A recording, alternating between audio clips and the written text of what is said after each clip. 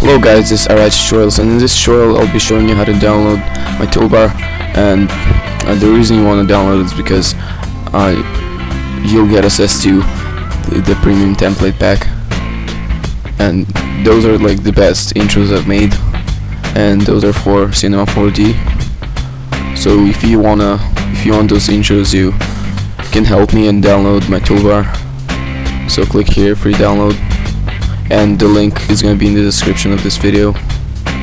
And save. Desktop save. Now launch the setup. Continue. If you want it to be um, your default search browser then you uh, you can do that but I don't want it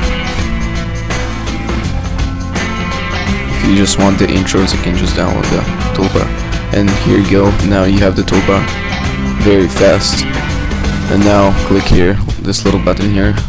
And go down download template pack I'll just prove it to you that this is real that I'm not lying. Okay now click regular download. Save. Desktop. Save. Um, I'm gonna rename it because I already have this file on my desktop.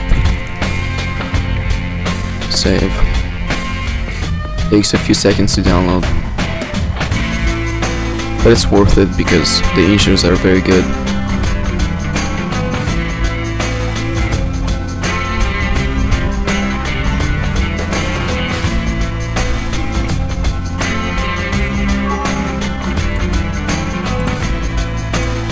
Okay, now open this, select premium pack, close. If this pops up, just close it and extract to desktop. Okay. Now open this folder and let's see. I really like this one, the M40 intro template.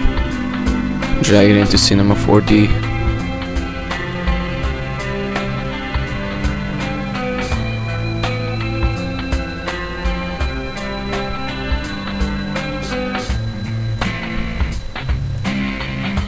okay. And as you see this is the real template